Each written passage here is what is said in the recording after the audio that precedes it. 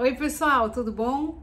Olha só, agora é, vou falar uma coisa que todo mundo tem sempre essa dúvida. Hoje a gente vai tratar do assunto copiar. Já sei, já tratei desse assunto, mas assim, é recorrente.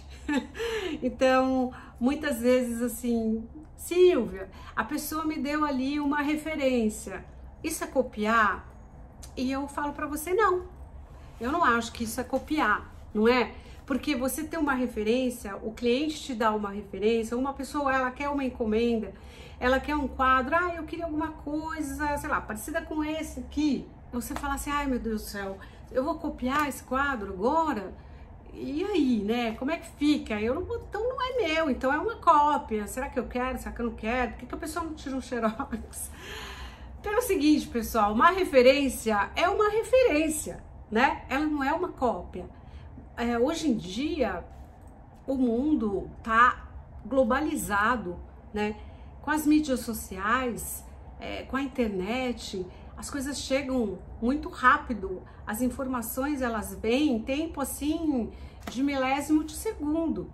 Então, é, você ter referência hoje de algo é diferente de você estar tá copiando algo. E outra, as pessoas fazem coisas similares. Não tem como, né? Nada se cria, né? Tudo se transforma. Qualquer coisa que passe por você e que você coloca ali algo seu, a sua energia, ela tem um pouco de você também. Então, ela já não é mais uma cópia, né? Óbvio, se você for tentar fazer a cópia, ela vai ser a cópia da fulana, a cópia da Silvia. Essa cópia eu fiz. Você percebe? Mesmo assim, é a cópia minha, tá?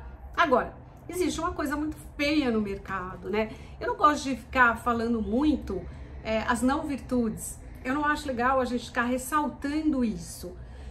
Mas existe. Existem pessoas que copiam trabalhos de outras pessoas e assumem é, a autoria. Eu acho isso muito feio, né?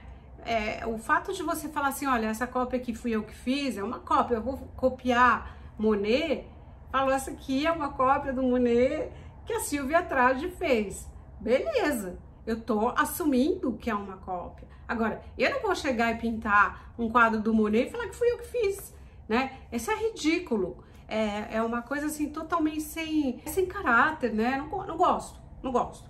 Mas opinião, cada um tem a sua e eu não vou entrar nesse mérito. A questão agora aqui é sobre referências para quem está já atuando no mercado, né? De, de venda de arte, de ilustração, de estampa, como usar a referência, né?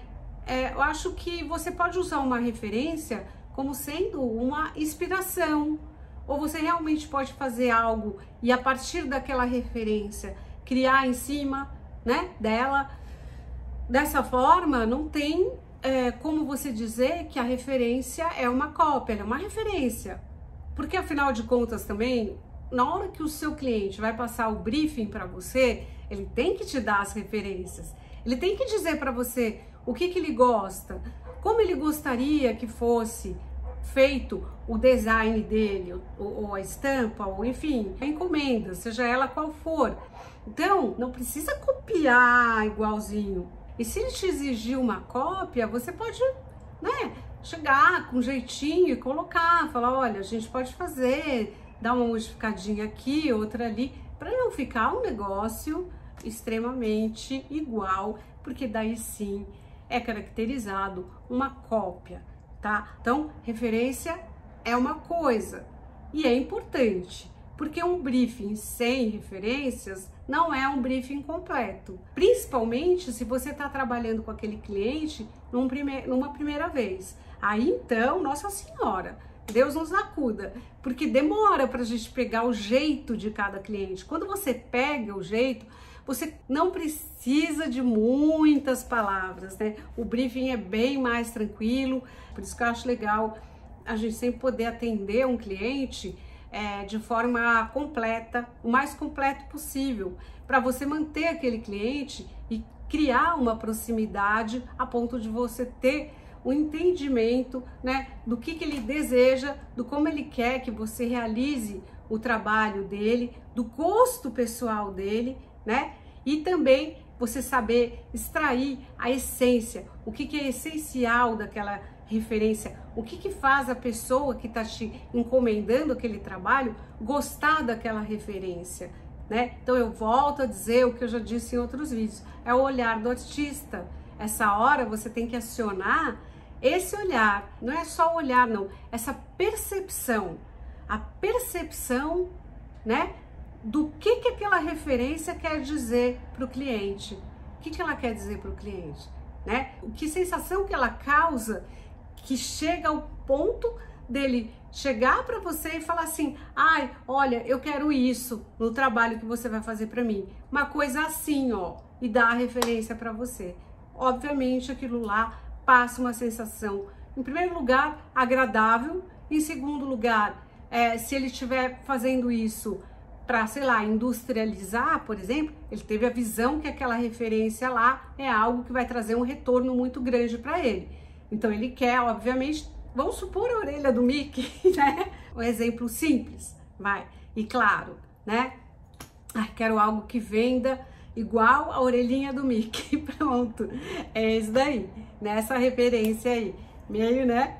É complicado você fazer algo diferente, mas existem formas e formas de você conseguir é, expressar o que, que um cliente quer ao te dar uma referência, tá bom, pessoal? Então, põe na cabeça aí. Você ter uma referência não significa que você vai ter que copiar aquela referência extrai o que, que aquela referência diz para o seu cliente, coloca no trabalho que você vai se dar muito bem, com certeza, tá bom?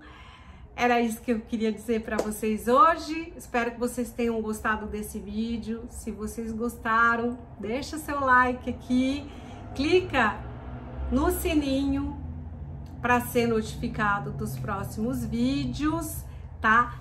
Dúvidas, sugestões, comentários, deixa aqui na página que eu vou ter o maior prazer de responder. Tá bom, pessoal? Super obrigada e até o próximo vídeo.